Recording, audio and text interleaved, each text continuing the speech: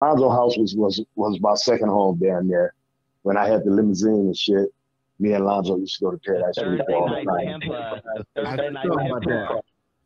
Yeah, yeah. we Hey, go oh, that, have a ball. I just, hey, I done told him the story already, goddamn it. oh, you, you told me about that. I told him about you didn't even hit your goddamn shoes in your hand, the limousine on two wheels hit the coast, then nigga would lean in. yeah, yeah, that was a trip though. But um, yeah, man, and, and so so anyway, when after that um, Dre had auditions and and that's where Candyman and TNT came into the picture at because they was a group called the Busy Boy Posse. So I I signed them from our label King Quality Records as a group, but then they broke up. Shit, two days later. You know what I'm saying? And um, so I, uh, so Candy, man, let's do this. Let's, let's still, I'll still work with you. So we go back to Dre, and Dre started working on Candyman. We did like three songs, and and in the mix of the three songs, NWA had started popping. They got a deal, and they was going to take off. So Dre didn't have time. He's like, "Look, man, I got to focus on on NWA now. Um, it really is easy, easy out. Uh, he said, I got to focus on this, and I ain't got time for you guys. So luckily, um, I was cool with Ice T and Islam. I would remember Rhyme Syndicate and all that. Islam owed me some money too. So me and Islam hooked up. I sold him some equipment one day. I, I had a lot of equipment, dude. I was, I, I, Did you sell him? Did you sell him my, my SP twelve hundred drum machine case? nope, nope, nope. How I did you get that I that. motherfucker?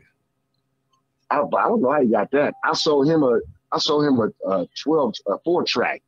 Okay, I bought the twelve track from you. right. I bought that. I bought that 12 track from you. I sold him a four track. You remember DJ Black, Right. right? Right. DJ Black. I bought some turntables and shit from DJ Black. That was my partner when he used to work at the fish market. Okay. Right, he- when he first came to LA. He used to work at um, at the fish market on Avalon. Come and get it, fresh fish. To his his uh his daddy-in-law's shop. But yeah, so that's um and so we went to Lonzo. I mean, we went to After Islam and we did Money Talks. That was the first single I did on Candyman, Money Talks. And then and I said we we used Ice T studio time. That's why if you look on that album when I did that Money Talk, I I said Ice T co-produced it because he gave me he let me I used the studio time because he was one of some money. And uh then from there, When did Johnny J come in the picture? Johnny J, okay, that's on the tape. From there, after we did the the Candyman single, TNT came to me and said, he said, Peter, man, you know I don't mess with Candyman no more, but uh you still want to fuck with me? I was like, yeah, bro, I told you I like your style, so come on, I'll, I'll put you out as well. So I took him and put him in the studio. I said, well, what you got first? I said, bring something to me. And he, that's when he brought Johnny J. What he did is he brought a song. And when I heard the song, the production was so fucking tight. I was like, man, who did the fucking music? I don't give a fuck about this rap. Who did the music? He showed Johnny J. I said, bring him to me. So he brought Johnny J to me. And I met Johnny J. And Johnny J had a DX drum machine that he had in a suitcase. Hmm. I was like, okay, bro, come on here. And um, I'm gonna fuck with you. We're gonna do some work. And then we started doing music together. And then I went to New York and um, I came back to New York and I bought the SP 1200. That's when it just came out. I bought the SP 1200 and I showed Johnny how to work and say, here, dude, they can learn this machine and enjoy it. And he, mastered that motherfucker, dude. And man, we started, we did, then we did, uh, we did Big Sykes' first album.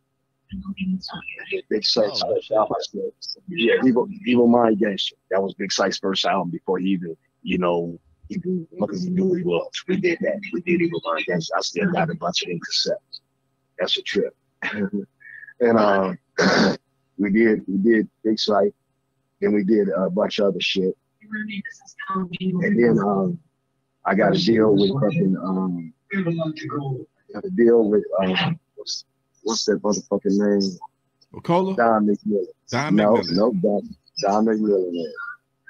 Got a deal with Don McMillan, and then he hooked me up with um, another label, and then I put out a few. I Then we we put out the Candyman shit, the TNT shit.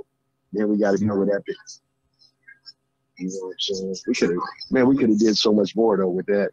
But um, Johnny, Johnny, he just get, he got big headed. He didn't really want to work with no other artist. Mr. Bonnie wanted to do shit with him. I was trying to get him to do shit with Ice. Ice T, he didn't want to do shit with Ice T in the beginning.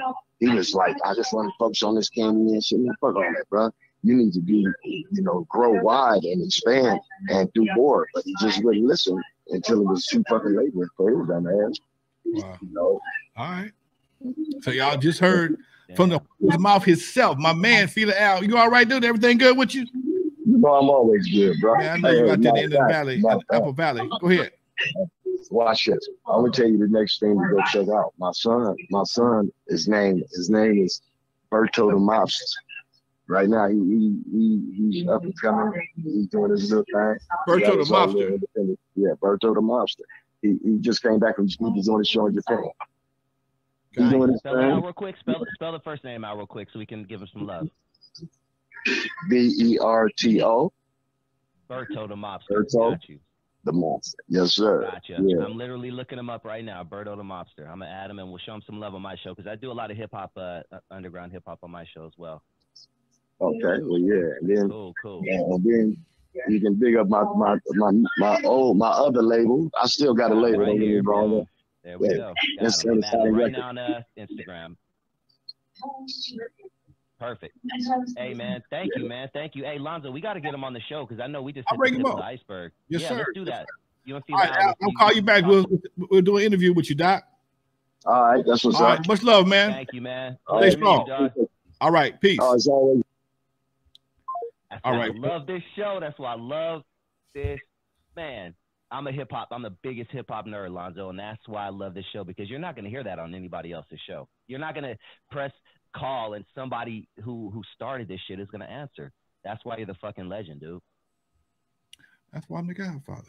Motherfuckers, eh, niggas talk that shit about me hating. I couldn't be a hater if niggas still love me 40 years later, man. Isn't that crazy, man? I get so I I, I try not I to can't be a hater, dude. comments. Oh man, I, I see some of these comments in the comment section sometime, and I just have to say something like, "You just don't know who the fuck you're dealing with." This guy, Lonzo, man, you had your hands on everything, dude. I had a I, I got into a debate with somebody online a couple weeks ago, man. They're gonna tell me about Eazy E, how I hated him uh, or I was bitter. Dude, I'm not I bitter. saw that. I'm like, come on, Dude, dog. come on, man. Look, you know what? Here's here, here's what people don't understand.